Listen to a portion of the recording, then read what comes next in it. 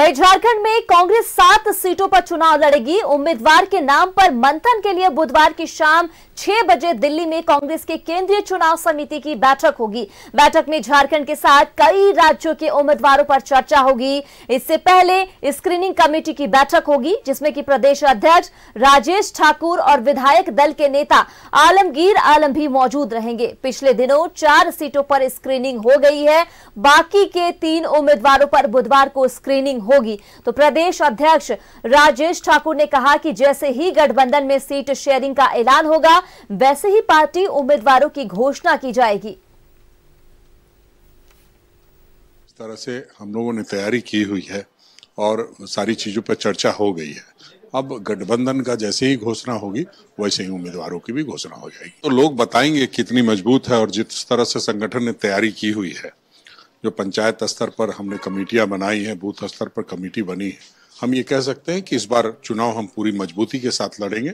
चाहे भारतीय जनता पार्टी हर तरह से हमें चोट देने में लगी हुई है, लेकिन हम समझते हैं उसका कोई असर नहीं पड़ेगा। जनता हमारे साथ है, जीत हमारी होगी। जिस तरह और इसी पे ज़्यादा बातचीत के लिए हमारे सहयोगी अमर ज़्यादा जानकारी के साथ जुड़ चुके हैं। अमर का रुख कर लेते हैं। अमर, कहा जा रहा झारखंड में सात सीटों पर चुनाव जो है इसे लेकर बैठक होने वाली है। उम्मीदवारों के नाम पर कहा जा रहा है कि बुधवार की शाम छह बजे दिल्ली में कांग्रेस के केंद्रीय चुनाव समिति की बैठक होगी और बैठक में झारखंड के साथ साथ कई राज्यों के उम्मीदवारों पर चर्चा होगी। आपके पास क्या जानकारी अमर, इस हवाले से? बिल्कुल, देखिए आ, कल जो शाम की बैठक होने वाली है छह बजे सीईसी की कांग्रेस सीईसी की मीटिंग होगी। इसमें महाराष्ट्र है बिहार है झारखंड है मध्य प्रदेश है राजस्थान है छह सात राज्यों के सीईसी होगी। कहा यह जा रहा है कि जो चुनाव है और चुनाव के फ़र्स्ट पेज है उसमें जितने भी बचे हुए सीट है उम्मीदवार की घोषणा नहीं हुई है। उनका सबसे पहले तो वो लिस्ट जारी किया जाएगा। दूसरी बात ये कहा जा रहा है कि चार जो फेजों में चुनाव होने हैं खास करके झारखंड की बात आ, मैं कर रहा हूँ तो चार फेजों के चुनाव को लेकर के सभी लोगों के जो उम्मीदवार हैं, उस पर सीट का जो कल सीएसी में चर्चा किए जाएँगे। ये भी कहा जा रहा है कि सात सीट जो है, सात सीटों पर कांग्रेस पार्टी ने अपना मन बनाया है और चुनाव लड़ने के लिए और जेएमएम को ये मैसेज दे दिया गया है। तो सात सीटों पर कांग्रेस को चुनाव लड़ना है झारखंड में तो इस सभी सीटों पर जो है कल चर्चा हो जाएगी। सुबह में जो है स्क्रीनिंग होगा स्क्रीनिंग कर लिए जाएँगे। जो प्रक्रिया है, उस प्रक्रिया में कहा जा रहा है कि तीन नाम पर चर्चा होगी स्क्रीनिंग किए जाएँगे हर लोकसभा सीट पर।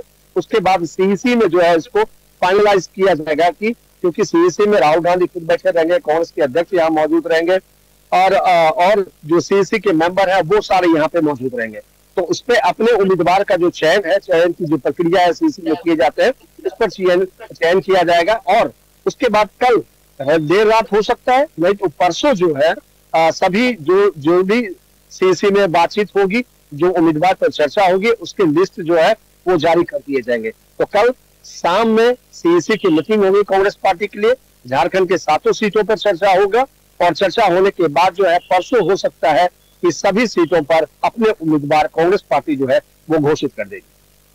देखना होगा कि आ, कल जिस तरीके से शाम छह बजे बैठक है इससे पहले स्क्रीनिंग कमेटी की बैठक हुई जिसमें कि प्रदेश अध्यक्ष राजेश ठाकुर और विधायक दल के नेता आलमगीर आलम भी मौजूद रहे अब कल बैठक होने वाली इसमें देखते हैं क्या कुछ फैसले होते हैं और किन चेहरों को मौका दिया जाता है। तमाम जानकारी के लिए अमर बहुत बहुत शुक्रिया। आगे भी आपसे जानकारी हासिल करती रहूँगी।